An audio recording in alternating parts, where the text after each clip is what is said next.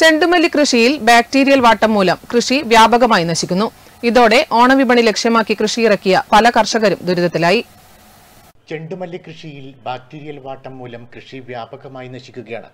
എരമംകുറ്റൂർ പഞ്ചായത്തിലെ വിവിധ ഭാഗങ്ങളിൽ കൃഷി ചെയ്ത മിക്ക ഇടങ്ങളിലും ബാക്ടീരിയൽ വാട്ടം മൂലം കൃഷി നശിക്കുന്നുണ്ട്.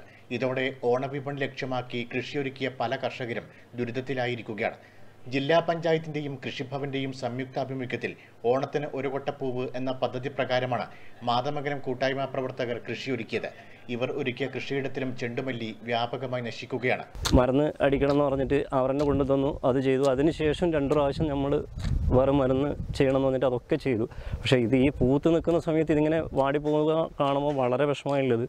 ഇതെന്നാ ചെയ്യേണ്ടതെന്ന് അറിയില്ല. കൃഷി ഓഫീസറും അവരൊക്കെ വന്നിട്ട് ഇത് സന്ദർശിച്ചിട്ട് ഇന്ന് പിന്നെ മറ്റ് മേഖലകളിൽ നമ്മുടെ പേരൂലായി കഴിഞ്ഞാൽ എരമത്ത് അതുപോലെ തന്നെ കുറ്റൂരി എല്ലാം ഇവർ തീ കൊടുത്ത എല്ലാ ദിക്കിലും ഈ പ്രശ്നം ഉണ്ടെന്നാണ് പറഞ്ഞിട്ടുള്ളത്. കൃഷി ഓഫീസർ ഉൾപ്പെടെയുള്ളവർ കൃഷിയിടം സന്ദർശിച്ച് മരുന്നുകൾ നൽകിയിരുന്നുവെങ്കിലും പ്രശ്നത്തിന് പൂർണമായും പരിഹാരം കാണാൻ സാധിച്ചിട്ടില്ല. രോഗം ബാധിച്ച തൈകൾ വേരോടെ പിഴുതെടുത്ത് കളയുകയാണ് കർഷകർ. Network news Pilathara.